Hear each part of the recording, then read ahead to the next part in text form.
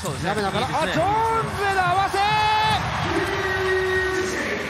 今日初めてのゲームとは思えない。ジョーンズについている。あのプレッシャーが効いてますね。ラベナ自分でいく。決めた。いやーラベナ体を張ります。ラベナはどうするか。ラベナからドグラス。バンクショット決めた。そしてサーディ・ラベナの姿もあります。ラベナ兄弟マッチアップキーファー・ラベナのスリーはどうだ来た？滋賀のキーファー・ラベナはこれであと3点で1戦得点ということになります。これはいかないね。ジョーンズダンクだ！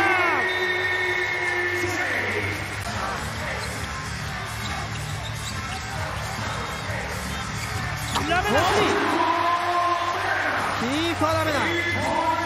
ああいった2対2が作れるようになりましたよね。これいいですよね。サーディラベナディープスリー決めた。お兄ちゃんには負けない。弟サーディラベナの素晴らしいスリーがありました。サーディラベナ走る。シュートはここで優しいレイアップ。細川ついているマーティン。マーティン押し切るか。あーっとここは守った三遠そしてサーディラベナ走る。サーディラベナファストブレイク止めることができません。レイクスはやっぱりビッグマンのこのファールは気をつけなきゃいけないですね。うんサーディラベナ決めてきた。リバウンドはギレンズ。さあ速攻はどうだ？奥イン！ And one。ここをつく滋賀。テーブス。あ行きました。あテーブスのスピード！いやーこれを防いだ。サーディラメナそこでいかにしっかりと決めてくるかが大事です。そしてラモスビュフォードがつく中でバスケットアウト、うん。二川3つのファール。打っていく。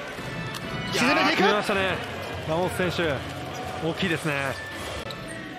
第1クォーターからいいディフェンス見えてますね。そうですね。お互いにやはり相手の長所を消していくというような素晴らしいラモス選手いいアタックですね。バスケットカウント海道はスタメンに戻しています。マーフィーからラモスのスリーポイント。来ました。来ましたね。よく守りました。速い攻撃を展開する。ラモスが自ら行きました。コーナー中に入れました。ジャスティン・バーレルとコティ・クラーク。ベースラインアタック前レイ・パークスジュニアがいました。ここは名古屋が守りきっています青木フリーダーワイドオープンのスリー。エサトンがリバウンドを取りました。伊藤が上がっていく。コーナーからレイ・パークスジュニア。バーレル中に入っていくがターンオーバーになります。エサトンレイ・パークスジュニア。須田に託して決めました中東には青木がついていく。ファイトオーバー気味。前はバーレル。バウンズパス。斉藤を回してレイ・パークスジュニア。ワイドオープンでスリー決まった。外でボールを回してきました。須田に入れて斉藤コジクラークに通す。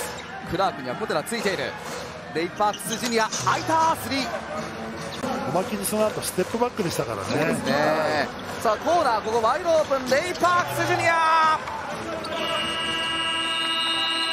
素晴らしいディフェンスでしたよ、動きにステールタップショット中村に預けるボールにちょっとあーこれは本当にもったいないターンオーバーですね今度は京都ユーロステルワンポゼッション差リードは京都ですライトスリーポイントきましたウッドフとジェイコブセンです水野に対しては田島がついてライトのスリーポイント。振り向きざまでしたがいやライトも来てますね。すごいですね。リアルがちょっと味方を待ってユトフに預ける。スリーポイントはライト。ライトのシュートタッチが非常にいいディフェンスでついてきますので。ちょっとディフェンスから一つリズム作りたいですよね京都は、ライトが行ってバスケットカウントで代わりに水野がコーナーに入ってボールもらいます走り込んだフィラー。フィラー。から三原。ブロックしたのはスローターでしたが、山下がマッチアップしています。